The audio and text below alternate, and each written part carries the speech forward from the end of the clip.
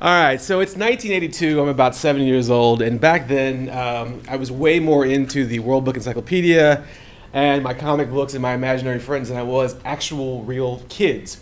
And so the notion of going to summer camp uh, was both exciting and also a little bit scary. And when I got to the summer camp, um, I realized that the other kids had been there for a while. They'd been they'd already gone there for a few years and had already formed groups.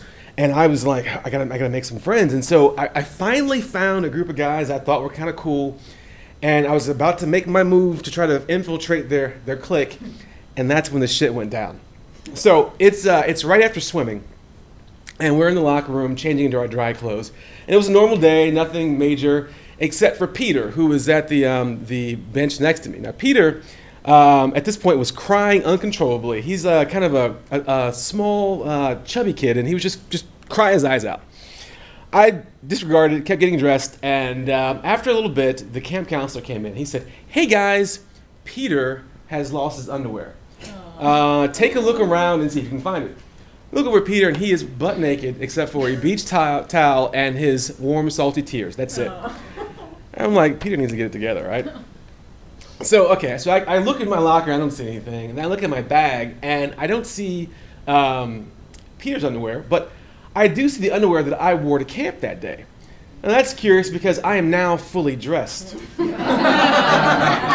so, I, you know, I, I, check to make sure the coast is clear, and I pull the, my shorts. And I look, I look down, and I, I see, uh, I see a pair of underwear, and I recognize them. Now they're underoos. Now, to the uninitiated, underoos are like, um, like Victoria's Secret lingerie for kindergartners, right?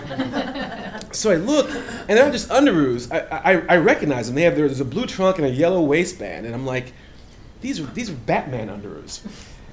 The only issue is that I don't own any Batman underoos.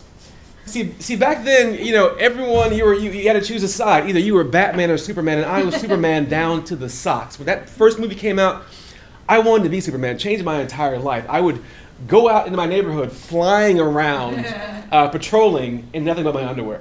I would go to, to, uh, to grocery stores and flash people with the S under my, my button up just to make sure they knew they were safe. So the notion of me ever being caught dead in a pair of Batman underwear is ridiculous. And yet, that's where I was. Uh, panicking, stressing, and about to shit what were apparently Peter's panties, a pair of Batman underoos. How did this happen? I don't know. So the, my first notion is I should just just just say I just confess and say I have on Peter's underwear. And then I'd have to take down my, my shorts, take off his underwear, hand them to him, put on my underwear, pull up my shorts, while the entire world was watching me. Right? And if I did that, I could do all of that and still they might not believe that it was an accident, you know? and then I'm thinking, well, I could do that, and then, you know, if, if I cannot say anything at all, right, and just kind of sneak away, but what if I do get caught? Either way, I'm pretty sure I'm getting thrown out of this camp, and my mommy's gonna kill me. She always says, Scotty, do not embarrass me, and I'm pretty sure this is exactly what she meant. So I'm thinking, then I'm like, oh my God, it's around lunchtime. Peter had been wearing these underwear for at least three or four hours prior to this. And his bathing suit parts were where mine are. It's just it's nasty, nasty. And then I think, you know what? What would Superman do? Right?